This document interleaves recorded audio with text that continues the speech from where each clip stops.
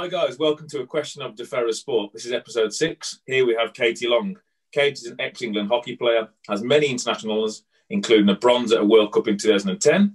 But most importantly for you guys, she's an ex-de Ferrers student. So, Katie, talk to us about your journey in hockey and from those days in year seven when you started de Ferrers all the way to where you are now.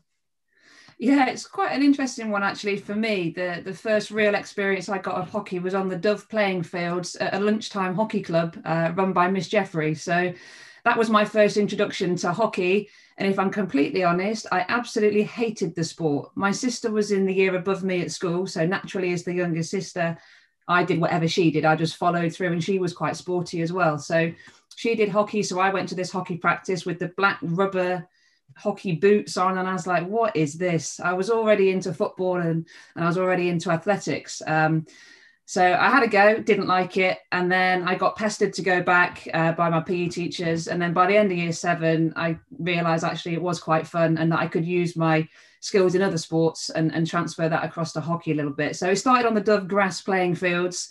Uh, we had the inter school fixtures down at Shobnall. So then I got to experience what an Astro was like. And then for me, that was a game changer for the game. It became a much easier version of the game on the Astro than it was on the grass. Um, from there, I progressed through. I joined a local hockey club, I joined Barton Hockey Club. Um, and then from there, went through the county system, um, the regional system, and then was fortunate enough to get get selected for the England under 18s. And, and I guess that was where my international um, opportunities really kicked on from. So yeah, the Dove the Dove Fields were where it all started for me. That's amazing, obviously, to see the progression from the Dove Fields, shall we say, all the way up to England honours, and obviously we're going to talk about England honours later on. Um, so was it just that you were pestered into hockey, hockey, hockey with your PE teacher, or was it that you actually found a natural talent that you got there? Uh, well, even I think I guess moving back from to when I was at primary school, I was always known as the sporty kid. Uh, I was the the girl that played football with the boys at break time, the girl that was desperate to be on the boys' football team, just any kind of sport. I'd throw myself into and have a go at. So that was kind of from from primary school level, and then moving up to secondary school, I just had a go at everything. Uh, and again, just uh, I was just the, the sporty kid in the year. Um, so I think I, I, naturally enjoy playing sports. So outside of school, every night after school, I go and play football down the road with my mates up the road, like anything and everything to do with sport. Massive Manchester United fan. Um, so I spent a lot of time, uh, luckily enough to go and watch a few matches here and there. And, and just playing football was one of my real loves as a, as a kid. Um, but the opportunities that I got through hockey uh, were able to allow me to progress further uh, within hockey. Oh, cool. It's great that you've obviously been able to grab those opportunities and go further with that. When did you realise? At what point do you think you know what I could be an elite level hockey player, or I can get into that England squad?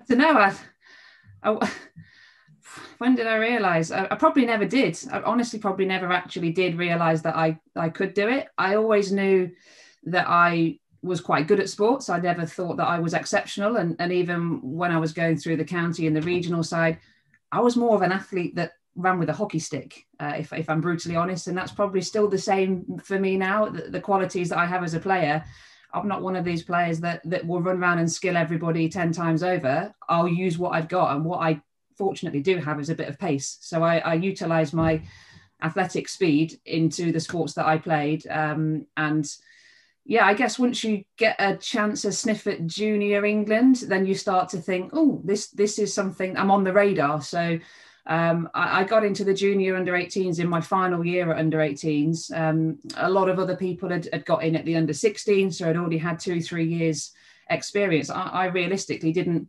really introduced myself to the sport till year seven, didn't really like it at the start. And then probably from year eight onwards was when I started to really focus a little bit more on hockey. Um, and yeah, I guess the the England under 18s was perhaps the, the, the point of, ah, okay, this could be something that I could do further on. Perfect. That's really nice to hear. Um, who was your, or what was your inspiration? Can you just expand on that for obviously whether it's hockey, whether it was a person in football, and where that took you? Yeah, I mean, that was my first my first sporting love was football, and David Beckham, just absolute idol. Like my bedroom was full of David Beckham, everything. Like for me as a as a footballer, as a Man United fan, uh, he he really was my idol in the way that he could play, the way he I used to watch all the documentaries, the way he did extra training, just the way he was an absolute professional in in being the best footballer that he could be. But in terms of for me personally and my sporting journey, it was actually Miss Jeffrey at De Ferrers, who was my my PE teacher at the time, who really supported me with with my found passion for hockey. Obviously, I didn't find the love for it at the start, uh, but through her continued support and encouragement, uh, she almost saw that I perhaps could transfer these skills that I had to hockey. Uh, fortunately for me, she liked hockey, uh, so she was able to support that and push that. And and I still remember back in year seven, her taking me and a few of the other girls to a county hockey trial on a Friday. So she took us all there, uh, gave us that opportunity to, to be part of that and, and experience that. And, and I'll never forget those, those moments where the support of your PE teacher really pushed you on and encouraged you and, and, and the belief that they have in you to give you those chances. Uh, was was really really important. So it stems back to I think to a, lot of her input from from when I was a pupil at De Ferrers, and then once I went into the hockey world, um, I joined I joined a different club, Sutton Coldfield, and and Jane Sixsmith was a player there, and and uh, she was a, a, a, player who had been in the England and Great Britain setup. She'd been to an Olympic Games, um, and to get to train with her as a you know as a 15, 16 year old was absolutely fantastic. And and she really took some of us younger players under her wing and, and really nurtured us and supported us and um, and really helped us to develop. So a combination of, of a few people. That's brilliant. Obviously, it's great that PE teachers do have such a role because I know we, we like to try and think we have the role of nurturing talent, and obviously it has come to fruition with yourself. So, congratulations on both. But when you were training with the England setup, how many hours and what types of training did you have to do? Obviously, because it, it's not a professional sport, so obviously you're juggling. So, what did you have to do? Yeah, I, was really fortunate. So when I um, when I left school, I went to university, and then when I finished university, I got um, selected on one of the as one of the funded spots for the the centralised program, which was based down at Bisham Abbey, down uh, down in Marlow. Um, and it was the first time um, with the funding towards London 2012 that there was an elite training program that was full time for hockey. So prior to that, it was all based around camp formats, so weekend training, uh, tournaments here and there. So it was very much still have your other job, have your other life, and fit training in here and there. But I was fortunate enough to, to go onto this full time program. So um, our, our, program, as I said, was based at, at Bisham Abbey, where we we basically trained all of the time together as a squad of 32. Um, so I'll, I mean, trying to, to look back now, a few years ago, but you know, we, we would have um, each day of the week would be doing some form of training, be it pitch sessions, uh, be it technical sessions, be it S and C sessions, be it psychology, nutrition, uh, video analysis, whatever it was, everything was there, and your week was was scheduled out. They, they obviously made sure that there was enough of a balance that you weren't just train, train, train, train, train. You need to make sure you have that that rest time and that recovery in there. Um, but for a for a young player coming into a senior squad, it was really exciting to to be like, oh, it's hockey and it's training every day. This is this is great. This is what all sports people want to do. It's like living your dream every day, waking up thinking, oh, I get to play hockey today, and just not, I suppose, thinking about it, having it planned there. I suppose that was the first time that hockey did start to sort of take off, didn't it? Because it was very much under the radar pre 2010, 2012 sort of times. Um, so just touching on your hockey journey, what was your favourite or most memorable moment within hockey? Uh, I think in, internationally, uh, it has to be uh, the World Cup. Uh, the World Cup in 2010 um, was over in Argentina, and and for those that don't know, hockey in Argentina is like for women like the biggest sport. And I know that the footballers amongst you, Lionel Messi's, he's the pin-up boy. There was a, a lady called Luciana Aymar, and she was the equivalent female um, with, within hockey and a role model for, for, for everybody over in Argentina.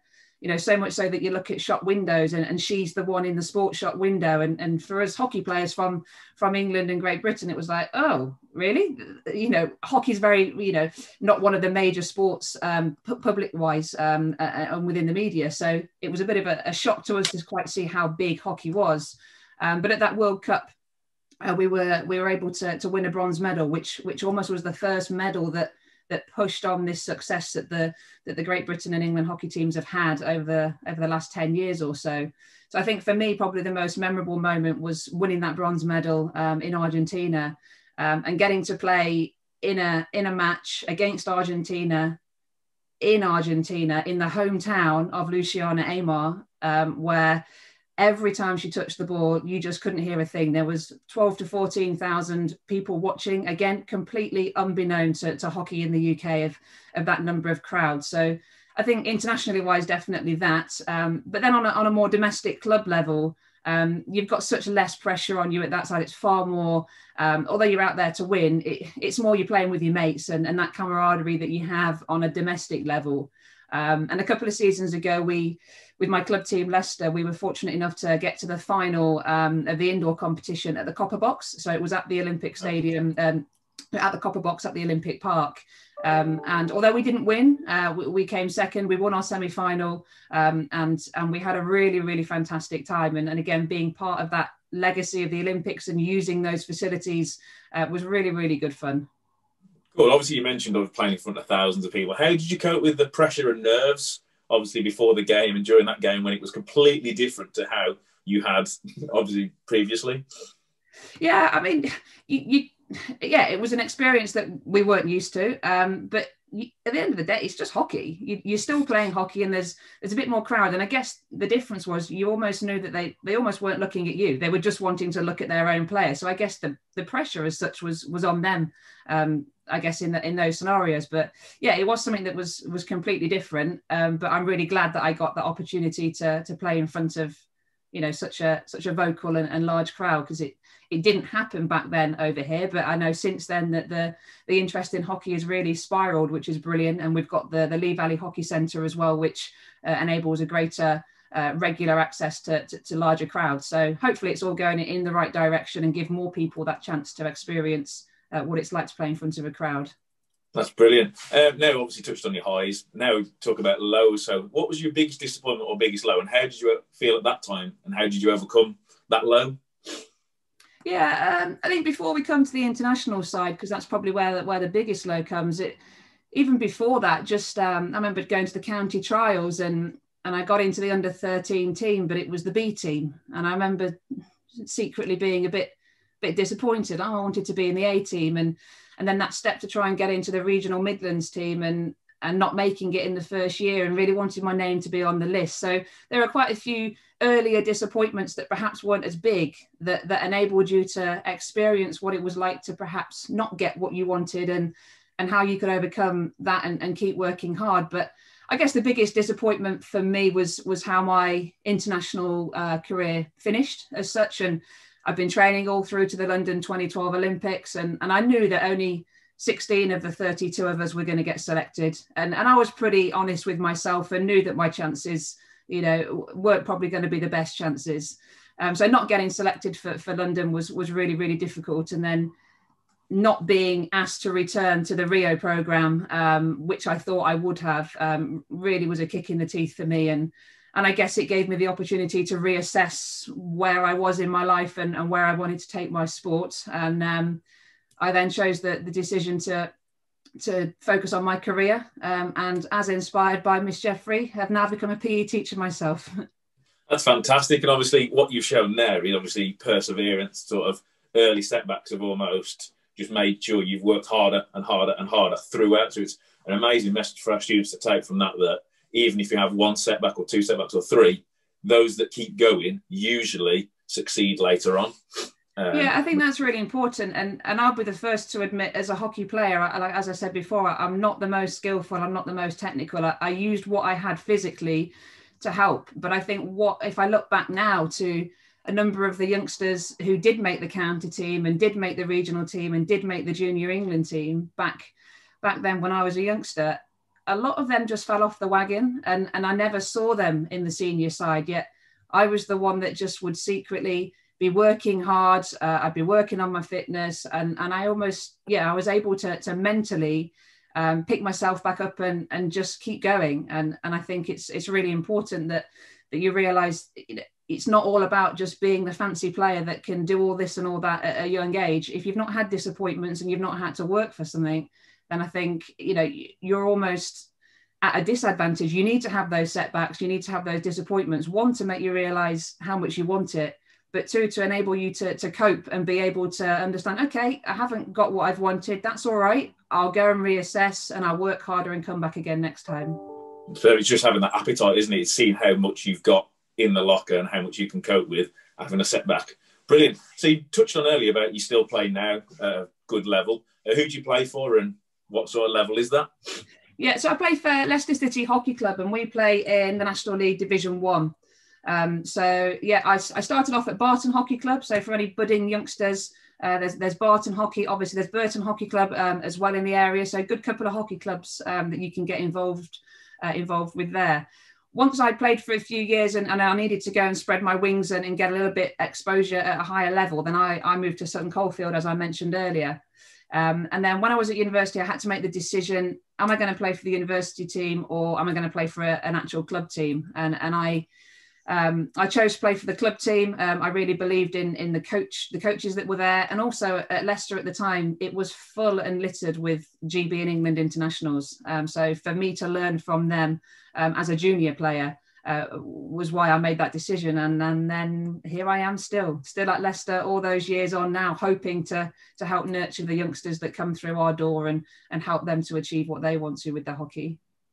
That's amazing. I'm just going to touch on the longevity that you've been fortunate enough to have within the game of hockey. How have you been able to sustain that level of elite sport throughout your sort of 10, 12 years that you've been playing now?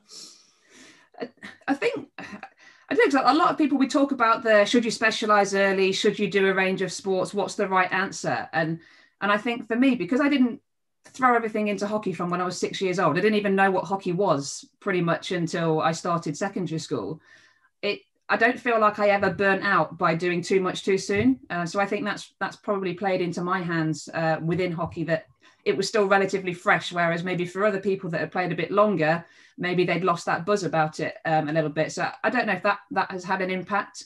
Um, but obviously, being part of a, of a full time training program, uh, you train all week um, with your with your with your Great Britain squad and your England squad, and then on the weekend it was you get loose to go and play for your club. So you'd be playing against all of those people that you'd been playing uh, training within the week. So there'd be that um, that that competitive element. Um, but i think you know it's for me I, I, still enjoy it. And and i don't enjoy every session and i don't enjoy every game. And i don't always love hockey. But when i actually assess it on the whole i do really enjoy it and be it the physical side of of testing myself but also the social side and being part of a team and and being accountable as a member of your team. Um, they're the, the bits that I take from hockey that, that I really enjoy. That's fantastic. Obviously, it's brilliant that you've been able to sustain the sort of elitism for the period that you have. Now, you touched on field hockey, obviously on Astro, on playing on indoor hockey. Which do you prefer and why? Oh, if you'd have asked me this question when I first started playing indoor hockey, I would have said uh, definitely field hockey.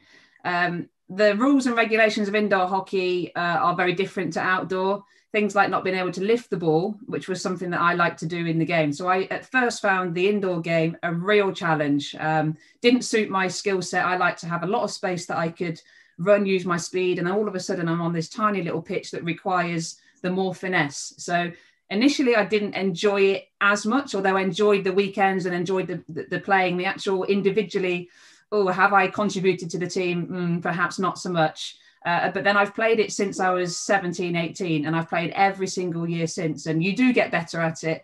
Um, and I do really enjoy the, the fast nature of it. Uh, it's a bit more end to end. But I think probably the outdoor game suits my game better. Um, so I'd probably say I would I do prefer the outdoor.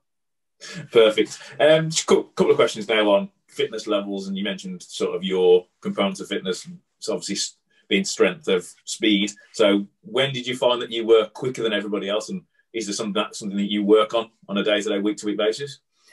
Um, yeah, I guess. Uh, when did I know I was quite quick? I guess at primary school sports day, um, when uh, when yeah, I, would say to my to my mum, can I can I wear my trainers, not the pumps, because I run faster in the trainers than I will in the in the in the PE pumps. Um, but yeah, I think from primary school, I I perhaps saw against my peers that, that I was a little bit quicker. Um, I've got a, a funny little story that, that I've said a few times to different people, but with my sister being the year above, um, there was one year where I was still at primary school and, and she was at secondary school. And and I remember I, I didn't just do sprint work. I, I, just liked running, just liked exercising. And um, a few times a week, I, would ask my mum when she picked me up, could you bring my trainers and shorts and t-shirt? And while you drive off to go and get my sister from de Ferrers, I'll I'll run. Um, So that was from when I was in year six at primary school. And, and I look back now and I think so many people must have thought, what, what a horrible mum she is making her child run from that school to that school. But it was something that I just wanted to do. And, and you know, running around the block at home, it's what I wanted to do um, when I was younger. So I think I've always had a bit of that training ethic of wanting to do. I joined athletics clubs, joined football clubs. Um, so I think it, it, was instilled from a young age, and then obviously once you you get onto a, an elite pathway, be it a junior pathway um, or a senior pathway, then the access you get to strength and conditioning is huge, um, and and then it becomes very uh, scientific and technical, and you get training programs that are that are tailored to you. So in terms of maintaining that at, at an elite level, a lot of that is is kind of planned for you, um, and and you just follow follow the programs that are in place to to make you the best you can be. Fantastic. And how have you kept up your fitness level during lockdown? Because I know it's very difficult. As you just said, you're a PE teacher um, and hockey player, and obviously that's all sort of changed at this moment in time.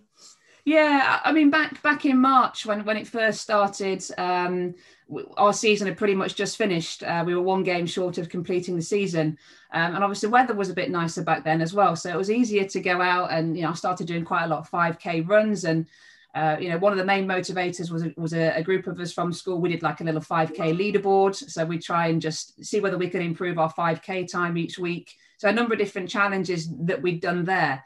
Uh, but I also discovered um, I, I, did a bit of Pilates, which I had never done before. Um, I'd never, if I'm hands up honest, wasn't great at the flexibility side.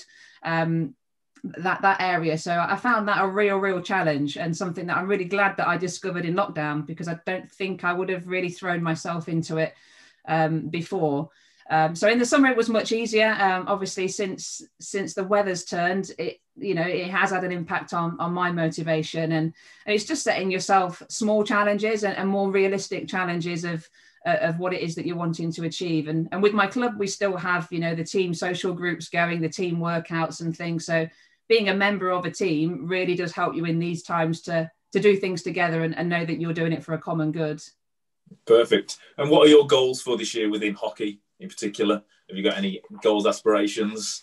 Yeah, it's a really tough one because we, we don't know what's happening. You know, I, I haven't played a competitive game of hockey since October because the league finished, the indoor season was scrapped. Um, we we don't know, so it, I guess it's it's hard to to know what what the goals are when we we don't know what the reality is of of being able to play. But you know my goals that, that have been recently are, are to to be as successful as I can be within within my club team um, and to support those players that that are there around me. So a little bit more of a focus on helping the junior players. You know I, have had my time of, of playing at the top level and, and trying to help support the the juniors coming through is something that that that I I like to take a bit of personal you know care in, in, trying to ensure that they get as much out as they can from from our training.